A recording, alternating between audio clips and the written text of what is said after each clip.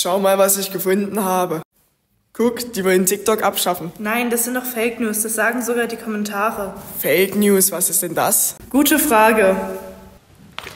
Von Fake News gibt es drei Versionen. Eine davon ist die Desinformation. Dies sind falsche Informationen, die absichtlich in Umlauf gebracht wurden, um Menschen zu täuschen oder Schaden anzurichten. Dazu zählen zum Beispiel Lügen und Gerüchte, verkürzte Zitate und fehlerhafte Statistiken oder Photoshop-Fakes sowie Deepfakes. Die zweite Version ist die Fehlinformation, worin die falschen Informationen unabsichtlich verbreitet wurden. Diese könnten journalistische Fehler sein, falsche Interpretationen oder auch reißerische Überschriften. Die letzte Version ist die Malinformation. Dazu treffen Informationen, die genau dafür veröffentlicht wurden, um Schaden anzurichten. Das sind zum Beispiel Leaks, aus dem Kontext genommene Fotos oder Fakten, die Hass oder Angst schüren sollen.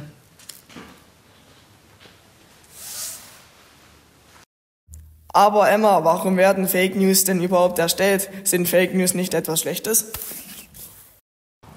Fake News werden oftmals erstellt, um Angst und Hass zu verbreiten um Aufrufe auf Social Media zu bekommen, um politisch zu manipulieren oder nur für den Spaß.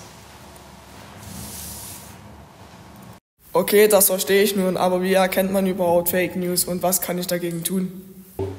Um Fake News zu erkennen, solltest du erstmals die Quelle überprüfen und dann die Fakten checken, da es möglich sein kann, dass Informationen gewollt oder ungewollt verändert wurden.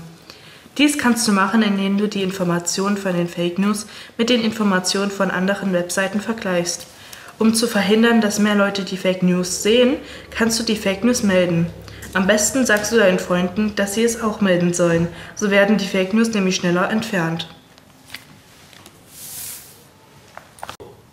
Jedoch können Fake News auch für Studien genutzt werden.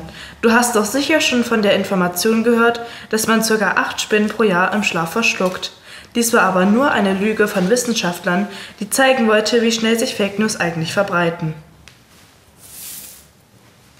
Also um das jetzt nochmal zusammenzufassen. Fake News sind Informationen in der Form von Bildern, Videos oder Texten, bei denen gewollt oder ungewollt Infos geändert wurden.